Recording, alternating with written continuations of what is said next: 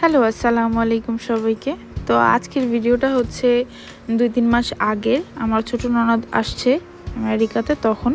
তো ও আসার আগের দিন আমি কিছু খাবার দাবার প্রিপারেশন নিয়েছি, তো ওগুলোই দেখাচ্ছি।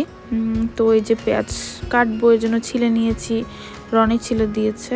আর এখানে কিছু পেঁয়াজ আমি একটু ভাজতে দিয়ে দিব গরু মাংস রান্নার জন্য। তো পেঁয়াজটা একটু ভাজতে দিয়ে তারপরে আমি এখানে মাংসটা ম্যারিনেট করে নিব। এখানে আরও কিছু পেঁয়াজ দিব। পেঁয়াজ দিয়ে আরও কিছু মশলা দিয়ে দিব। মানে পুরোপুরি ভালো করে এটাকে ম্যারিনেট মানে ম্যারিনেটের মতো আর কি মানে এটাকে প্রেপ করে নিব। মানে মশলা দিয়ে হলুদ দিয়ে দিয়েছি, মরিচ দিয়ে দিলাম। মানে গরুর মাংস সবাই রান্না করতে পারে, এটা কোনো রেসিপি না, আমি জাস্ট মানে যেভাবে দিচ্ছি, এটা মনে হয় ধনিয়ার গুঁড়ো। আমার স্পুনটা খুবই ছোট হাফ স্পুনের মতো হাফ ওরকম, তো একটু বেশিই লাগে। তো এটা হচ্ছে ধনিয়ার গুঁড়া। আমি স্টেপ বাই স্টেপ যাই। ফার্স্টে হলুদ, মরিচ জিরা, ধনিয়া দিই, তারপর দিই হচ্ছে তেজপাতা এটা হচ্ছে আপনার দারচিনি, এলাচ তারপরে হচ্ছে লবঙ্গ, এটা হচ্ছে লবঙ্গ, এগুলো দেই। সো তারপরে দেই হচ্ছে লবণ। তারপর না, এটা হচ্ছে ব্ল্যাক পেপার তারপরে সরিষার তেল দিই। অল্পই দিয়েছিলাম সরিষার তেল। আর তারপরে হচ্ছে, এটা হচ্ছে আদা রসুনের পেস্ট একটা দিছি রসুনের পেস্ট আর একটা দিছি আদার পেস্ট আর হচ্ছে লবণ।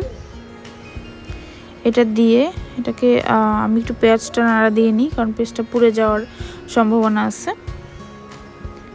সো তারপরে আমি হাতটা ধুয়ে, তারপরে এটাকে হাত দিয়ে ভালো করে মেখে তারপরে ভাজা পেঁয়াজের ভিতরে এটাকে দিয়ে দিব। তো আমি এটাকে ভালো করে হাত দিয়ে মেখে নিচ্ছি। আমি বেশিরভাগ সময় এভাবেই গরুর মাংস রান্না করি। আমার কাছে মনে হয় আমি এই ওয়েতেই রান্না করছি আমার এন্টায়ার লাইফ আর এরকমই আমার কাছে ভালো লাগে। আমি অন্যভাবেও রান্না করে দেখছি। যখন অল্প রান্না করি, তখন মশলাটা মানে ভুনা করে দেন আমি মাংস দিই, কিন্তু ওটাতে আমার ভালো লাগে না। আমার মনে হয় যেন মানে মাংসটা অত একটা মজা লাগে না। তো এই তো এটাকে মাখা হয়ে গেছে। আমার মনে হয়েছে যে এখানে তেল দিতে ভুলে গেছি। তো আমি পরে তেল দিয়ে নিয়েছি। তেল তো আমি শুধু সরিষার তেল আর নর্মাল তেল যেটা ওইটা আমি দুইটা মিক্সড করে রান্না করি। তো এটা দুইটা মিক্সড করে দিছি। এই হচ্ছে ম্যারিনেট করছি। আর এই হচ্ছে পেঁয়াজ। পেঁয়াজটা একটু ভেজে বেরেস্তার মতো করে, তো তারপরে এটার মধ্যে আমি পেঁয়াজ দিই। পেঁয়াজ যেহেতু কাঁচা পেঁয়াজ আছে, এর জন্য আমি ভাজতে অত বেশি দিইনি। অল্প ভাজা পেঁয়াজ দিয়েছি।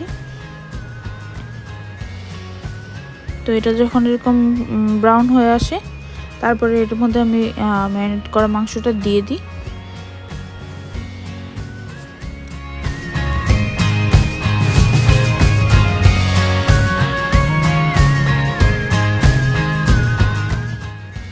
তো তারপরে এটাকে ভালো করে আবার নিচের পেঁয়াজগুলো উপরে তেল আর পেঁয়াজের সাথে মিক্সড করে দিই, যাতে এটা ভালো করে মানে হতে পারে আর নিচের পেঁয়াজটা না পুড়ে যায়। তো এই তো আমি দুইটা মানে ভালো করে মিক্সড করে দিচ্ছি।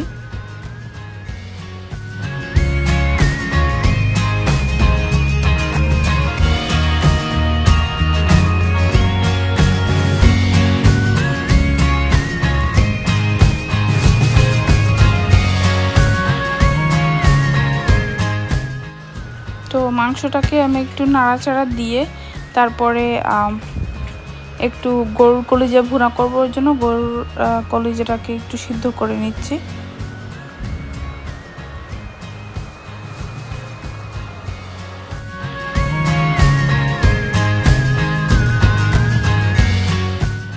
এদিকে গরুর মাংসটা একটু দেখে নিচ্ছিলাম যে নিচে লেগে না যায় আবার।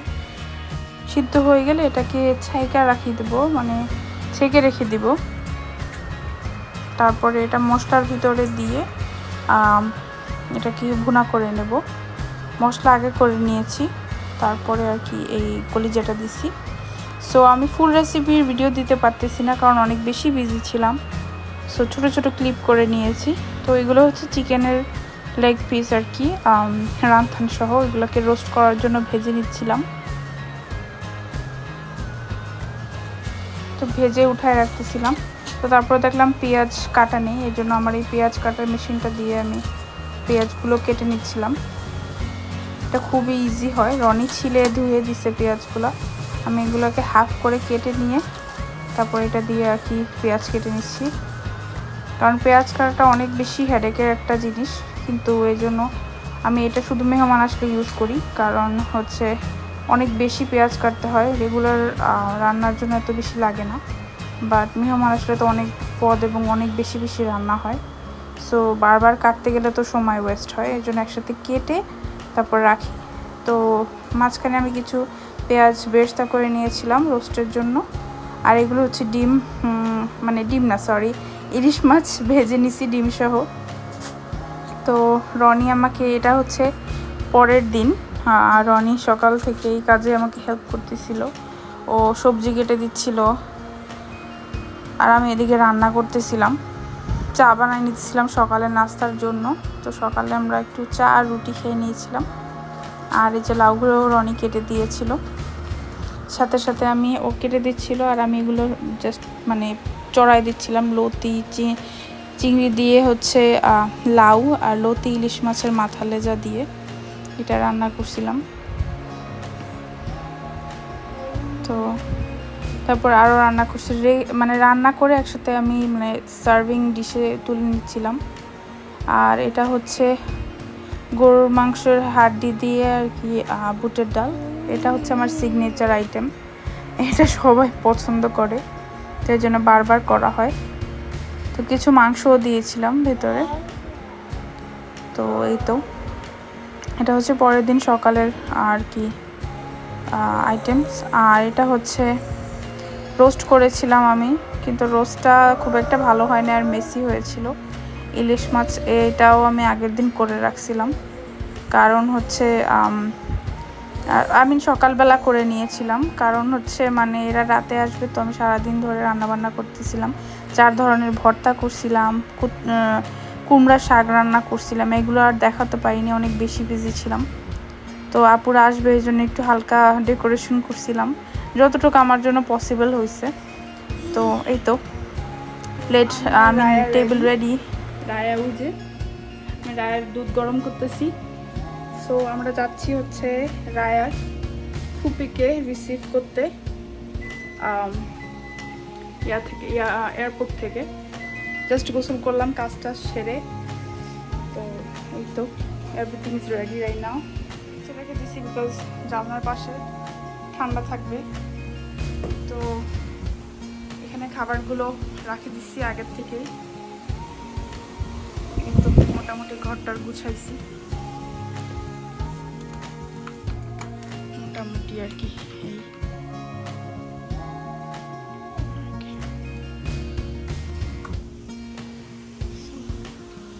যতটুকু সময় পারছি, অতটুকুই করছি। কিচেন সো আমি গরুর মাংসটা গরম করতে ভুলে গেছি বাট ইটস ওকে আইসা গরম করব ফ্রিজে ছিল। Ready to go, Raya? Yes. Puppy Pupi আসবি আপু? না না বাবা। ও মাই গশ গেসি তো রনি গাড়ি নিয়ে আসার পরে আমরা এয়ারপোর্টে যাওয়ার জন্য রওনা দিয়ে দিচ্ছি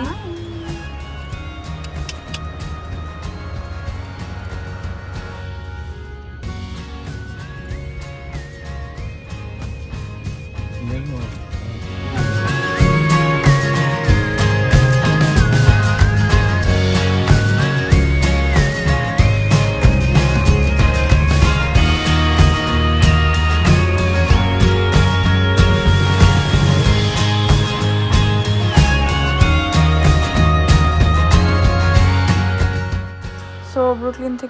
থেকে আমরা চলে আসছি যে এয়ারপোর্টে। তো আমরা জাস্ট এসে দেখি যে রায় ঘুমাচ্ছে আর তারপরে আমি রায়কে নিয়ে দাঁড়ায় যাই আর কি মানে চলে যাই সাথে দেখা করার জন্য। বাট ওখানে যায় দেখি যে উনি এখনও আসেনি বের হয়নি। তো আমরা কিছুক্ষণ দাঁড়ানোর পরে চলে আসতেছিলাম তখনই দেখলাম গ্লাসের ভিতর থেকে যে ওনারা বের হয়ে আসতেছে। তখন আবার ব্যাক করি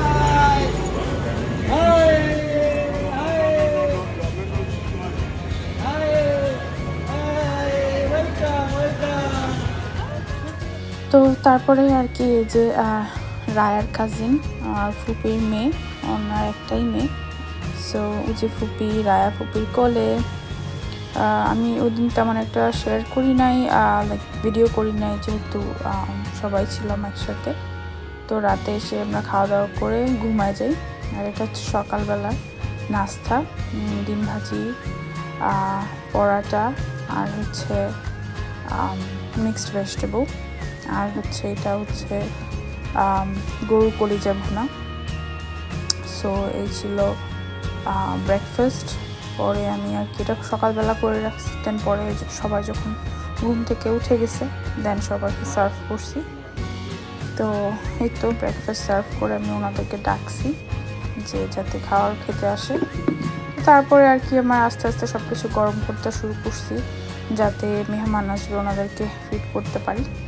সো এই যে গরম করে কিছু কিছু জিনিস দিয়ে দিয়েছি সামনে আর অলরেডি বাচ্চারা খাওয়ার জন্য বসে গেছে।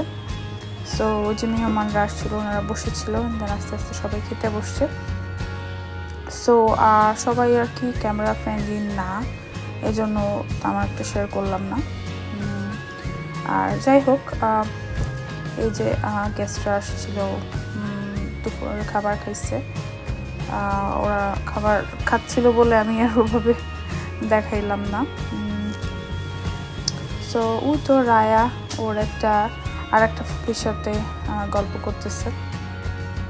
খাবার দাবার খাচ্ছে। তো এই তো। তারপরে এই যে খাবারগুলো প্যাক করতেছিলাম আপুর জন্য, যেহেতু আপু চলে যাবে আলবিনিতে চলে যাবে সন্ধ্যাবেলা, তো এই খাবারগুলো আমি ওনাকে প্যাক করে দিয়েছি। তারপরে তো আপু চলে যাচ্ছে। আপুরা থাকতে পারবে না বিকজ আপুর ইন্স্যুরেন্সের অ্যাপয়েন্টমেন্ট নেওয়া ছিল। সো এই আর কি তো আপুর মেয়ে একটু লাইক বেচারি মানে কান্না করতেছিল, ওর ভালো লাগতেছিল না। সো এই তো। তারপরে আর কি আমরা ওদের সবাইকে বিদায় দিলাম। যে রনি তারপর আরও কয়েকজন ছিল। সবাই মিলে আর কি। আমি যেহেতু রায় আমার কোলে ছিল এই জন্য আমি খুব একটা মানে বাহিরে যাই নাই। মানে দরজার সামনের থেকে বিদায় দিছি। তো এই তো। এই যে রনি শ্রিয়াকে দিয়ে যাচ্ছে। মানে দিয়ে আসতে গেছে আপুর মেয়ের নাম হচ্ছে আশফিয়া এই তো।